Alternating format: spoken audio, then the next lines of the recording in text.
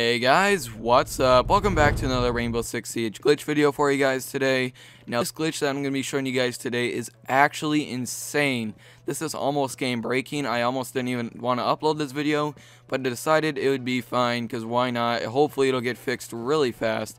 Like, oh, shout out to Ishrexen. He is the one who showed me this glitch and the one that I posted for you guys on Monday. So thank you to him so much for showing me these. Also, if any of you guys have any glitches that you'd like me to see and you're on Xbox One, make sure you hit me up. My gamertag is OMG It's Gecko, or just put your gamertag down in the description. So basically, you're gonna come up to the bank. Now you're gonna have to be an attacker, and you're gonna have to have a camera still available. If you don't have your drone available, then this will not work.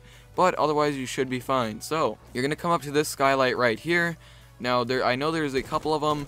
I don't believe any of them work, but you guys can try them out th in theory it should work on every skylight on every map, but I haven't been able to figure it out yet. So anyway, what you're going to do is you're going to rappel down. Okay, now you're going to come in here, change your stance, and you're going to just throw your drone somewhere where you think it's not going to get killed because this is going to be essential to doing the glitch. So just throw it somewhere, it doesn't matter where it is.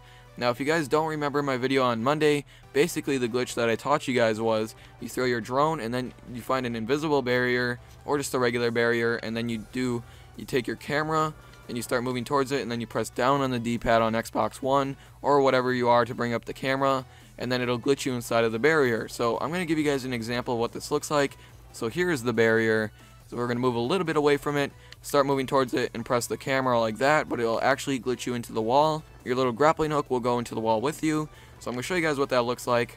As you guys can see right there, it is inside of the wall. So that's what you're going to want to do. You're just going to go towards the barrier and press down and then it should glitch you into the wall. If you guys need a few more examples, make sure you look back at my glitch video that I posted on Monday, and you guys should be able to see what I was talking about a little bit easier. But anyway, let's just get out of this for now. So once again, we're going to do the same thing. You're going to have to be on this side of it. It does not work on this side, I believe. So you're going to do this. You're just going to come near it, get a little bit away from it, move towards it, and get into the wall. So if you guys can already see where this is going, this is actually insane. So you're just going to look around. Make sure you just keep looking, look straight up maybe. Just keep looking and you'll eventually glitch through the roof. So we're just going to go ahead and do that. Now, as you guys can see, I crouched right away, and that's what you're going to need to do.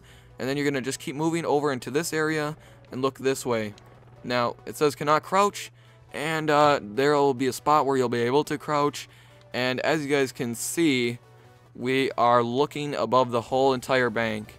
Now, um, this is a little bit, just, just a little bit OP anyone, anyone in the lobby is about to get gunned down. So I didn't even know if I was going to upload this or not because I think it is actually insane how OP this is. You can pretty much walk around this whole area. Now sadly there is a hole somewhere over here, I forgot where it was.